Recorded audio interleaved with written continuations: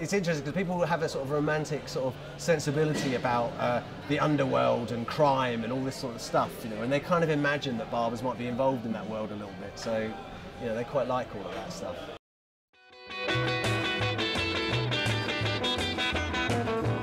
My name's Frank Rimer. I'm the owner here at Thy Barber in London. I'm Paul. I work at a, a little shop in uh, Holland called Schorem. I'm Paul Harmer, I'm manager here at Thy Barber.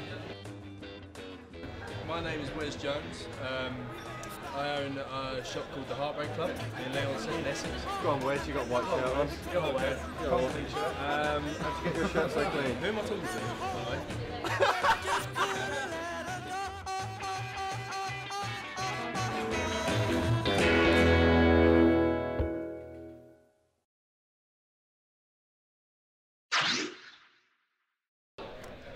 by? Oh, wow. Tinder. But no, me and me and Wez met at the at the Pro Hair 2016 in Manchester. Touched penises, and uh, no, it was uh, yeah. Well, for me, because uh, at the time I was discovering like um, and what they're about. Men. I was discovering real men, and uh, no, and I saw the poster that they did, and uh, so I was a fan. So I drove up from Bristol, and Wez there from Essex, and we sort of like got to know each other through that. Whereas these guys, uh, I sort of knew them at events, and we said hello, and we sort of knew the same people. And then I got stranded here in December, and they looked after took me. in. They took me in, yeah. It's quite difficult actually getting them in photo shoots when to get them to stop fucking about most of the time, as I'm sure you've realised when you try to interview them. yeah, brilliant.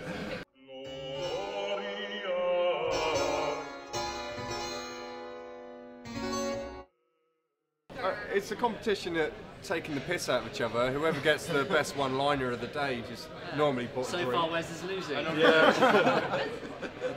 Wez isn't it witty, What's the worst prank you've ever played on each other?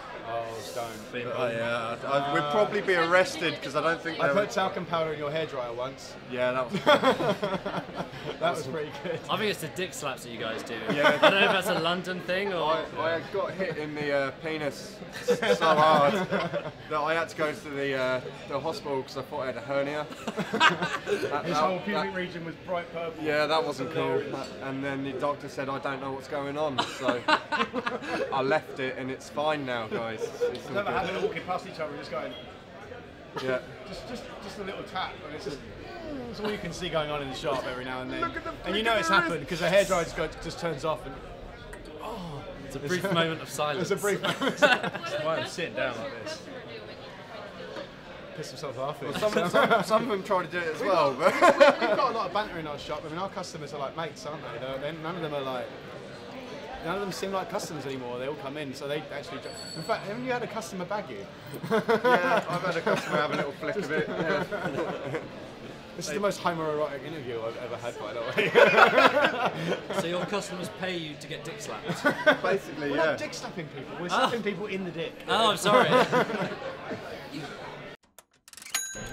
why? oh, and why? And why? Oh, and why?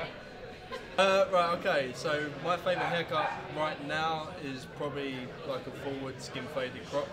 Um, why? Because it's kind of bringing new ages of like punk into today's um, lifestyle, I suppose. My favourite haircut is a long trim pompadour. It is so versatile and traditional. Practical and alluring. Exactly. And my favourite haircut is the flat top because to me it's the base of all haircuts. Damn. No, my favourite haircut's the uh, long trim pompadour because, again, like you said, it's very, very versatile. But for me, it shows all aspects of barbering. You've got clipper work involved, scissor work, a lot of blow drying technique, and very, very heavy styling. So for me, it's got um, it's got every aspect that we do in the shop in one single trim. That's why I like that one. I mean, I suppose the inspiration behind the haircuts is anything that's vintage. I mean, we, you can see by the way everyone dresses here. And Apart from Wales. apart from this guy, Das Whites! That's right. Filling a the only void. hipster in the room. obviously. Filling a void, right? Um, no, the- what I think it's the, it's the love of history. Uh, you know, like when you get into something, you really kind of you, you can't help but research into it. And for me, like I've always loved seeing anything from the early 1900s up to the early 60s. Um, I mean, especially in Britain, where we've got su- the forefront of fashion going, it's forever changing here, especially in this city. For me, it's just trying to find something that's never going to become dated. You know, as much as it's like nearly 100 years old, in fact, some of these haircuts are over 100 years old, they'll never go out of fashion, and that's what makes them timeless. And for me, that's why I love them so much. You know, so I think that's where my passion behind if it. it ain't broke, don't fix it. Exactly. That's, Yeah, our, we wall, do. that's our wall of shame. Um, I'm probably going to join them all at one point because I'm going to get ridiculed for growing my hair out being a barber. But uh, yeah, that's all the hippie killers that they're, they're all the hippies that were killed on the wall. Flat top mullet. Flat top mullet? I really want to do a flat top mullet. I've done one once, and I want to do another one, but I wish they'd come back. Please come back. My yeah, I, I did, it depends on how I feel. I, I, it White. depends how I feel. Depends on the day. You'd love to do normally a white, crop, but but to the side. That's the thing. I, I, I like doing stupid shit with hair because it's hair it grows back. It, you know, it's fun. Uh, we should have it's art. We should have some fun with it. So depends how I feel. If someone comes in with long hair and they said do what you want, I'm like I'm probably gonna do three haircuts because I'm gonna fuck around with it, take some cool pictures, and then get it to something that actually looks pretty. No, for my one, it's the only one on the poster I haven't yet fully done. I almost did it uh, the other day, flat top boogie. I've done that. I've, times. I've never done it. I came close. regular, that's I've done Do every you? Yeah, okay. Well, we, so what you need to introduce, we've, Yeah. we've introduced two. got it. If they've got good hair for it and they're like, oh, I don't really know what I want. Yeah. All right, mate, it's get what you're given Tuesday. You sit down, you shut up, you get what you're given.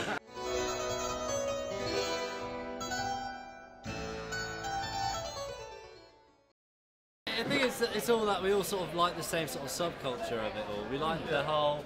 It's about having a bit of a giggle, but I think we, you know, for all of us, it's still all about the haircut. Because we all come from that like punk lifestyle Yeah. from being kids as well. We grew up listening to the similar music. I mean, you're you're you're a you're a beachhead. You were like you grew up in this beach town, didn't you? So you had that like Yeah. um, Gypsy vibe. yeah Yeah.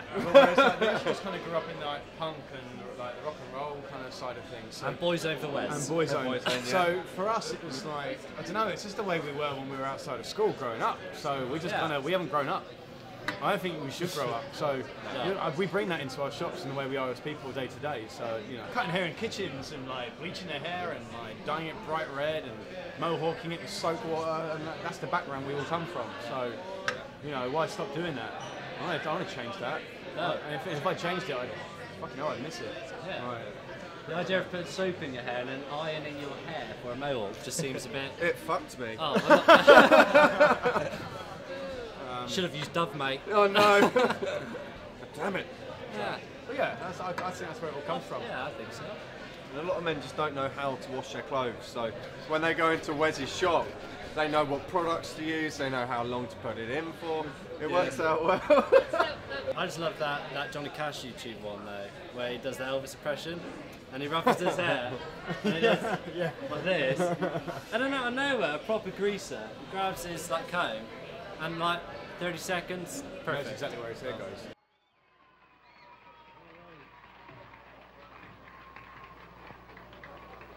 Thank you very. Excuse me while I comb part of my hair.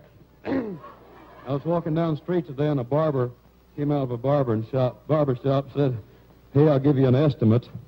So Uh, Chainer or- Mine was always Elvis, hence the name, the Heartbreak Club for my shop. it was, Oh. it was uh, yeah, I, I couldn't call the shop the Heartbreak Hotel. There's a few licensing issues with that, so I went, I went with Club. But yeah, it was always about Elvis. I liked Elvis because women loved him.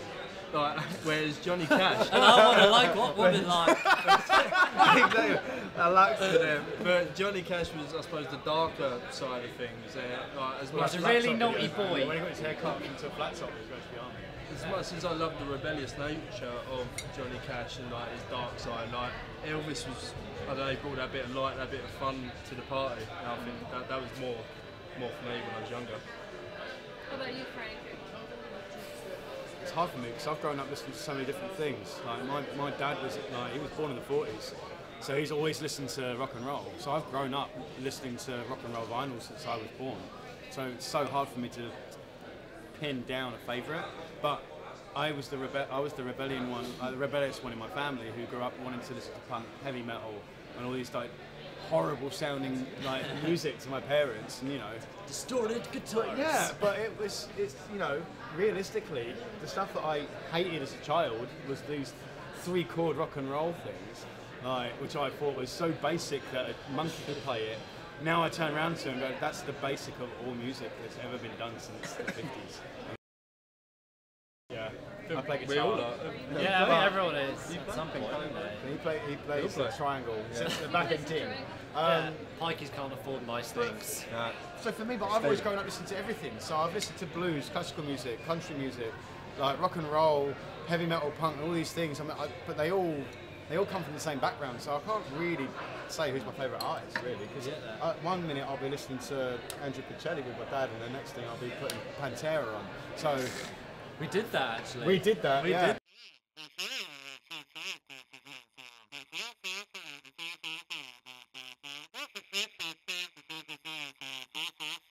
Hello. I'm working my leg back. Can you sit Oh back my down now? god. Yeah, he's So how do women react when you cut their boyfriend's hair off? Do you ever get any? A lot of them flirt with me. they don't. obviously. Only has to sex them often. Yeah, I have to tell them to sit down. Put a towel down first. Don't ruin the applause. Stood up. Uh, no, normally it's, well, they tell us they look great, but when they leave the shop, they probably say their arseholes don't go back there. Well, this is why I love the fact that girls can't come in where I work because Yeah, then true. girls will say, right here, he's having this.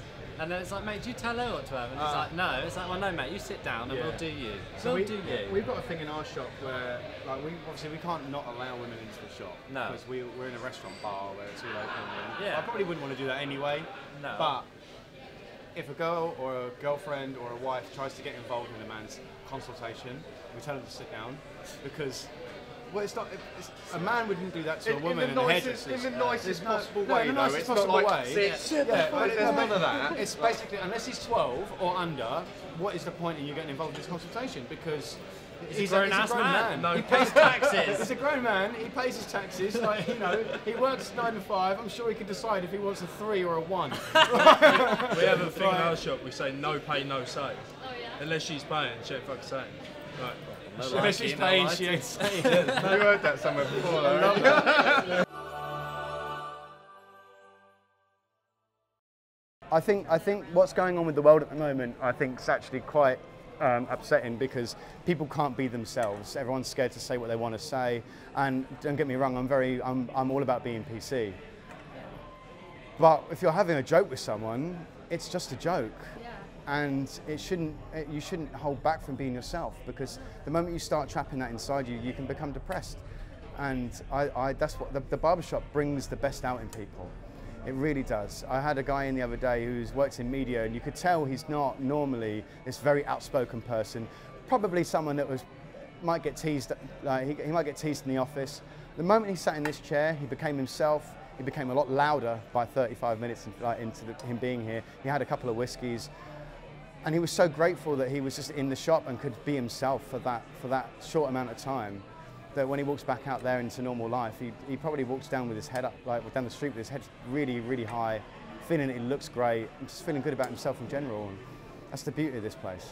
It's not the haircut. It's barbering's not all about hair, haircutting. It's it's about a personal relationship between a man and, and his uh, and his customer, or a man and his barber, and that relationship they have, I think, it's a huge privilege for both human beings.